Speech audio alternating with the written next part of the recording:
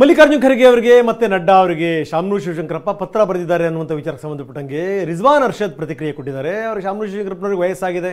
ಅವರು ಸುಮ್ಮನೆ ನಿವೃತ್ತಿ ಪಡೆದು ಮನೆಯಲ್ಲಿರಲಿ ಅನ್ನುವಂಥ ಸಲಹೆ ಕೊಟ್ಟಿದ್ದಾರೆ. ಹಾಗಾದರೆ ಏನು ಹೇಳಿದ್ದಾರೆ ಅವರು? ಬನ್ನಿ ನೋಡು ಶಾಮನೂರ್ ಭಾಳ ಬಹಳ ಹಿರಿಯವರು. ಅವ್ರ ಬಗ್ಗೆ ನಾನು ಏನು ಕಮೆಂಟ್ ಮಾಡೋಕ್ಕೆ ಸಾಧ್ಯ? ಹೇಳಿ. ಏನು ಹೇಳಕ್ ಸಾಧ್ಯ? ಅಷ್ಟು ಹಿರಿಯ ನಾಯಕರವರು, ಮತ್ತೆ ವಯಸ್ಸಾದವರು.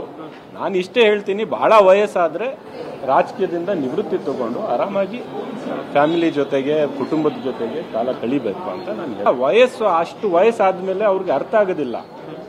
ಬಹಳಷ್ಟು ವಿಷಯಗಳು ಅರ್ಥ ಆಗೋದಿಲ್ಲ. ಇವತ್ತಿನ ರಾಜಕೀಯದ ವಿದ್ಯಮಾನಗಳು ಅರ್ಥ ಆಗೋದಿಲ್ಲ. ಮತ್ತೆ ಆ ವಯಸ್ಸಲ್ಲಿ ನಾವು ಕೂಡ ಜೋರಾಗಿ ಹೇಳೋಕ್ಕಾಗೋದಿಲ್ಲ.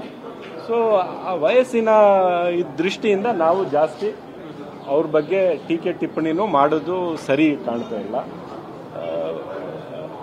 ಆ ವಯಸ್ಸಲ್ಲಿ ಸಾರ್ವಜನಿಕ ಜೀವನದಲ್ಲಿ ಇದ್ರೆ ಇಂಥ ಸಮಸ್ಯೆಗಳು ಬರ್ತಾ ಇರುತ್ತೆ. ಶಾಮನೂರವ್ರು ಬಹಳ ಹಿರಿಯವರು, ಅವ್ರ ಬಗ್ಗೆ ನಾನು ಏನು ಕಮೆಂಟ್ ಮಾಡಕ್ ಸಾಧ್ಯ ಹೇಳಿ, ಏನು ಹೇಳಕ್ ಸಾಧ್ಯ? ಅಷ್ಟು ಹಿರಿಯ ನಾಯಕರವರು, ಮತ್ತೆ ವಯಸ್ಸಾದವರು.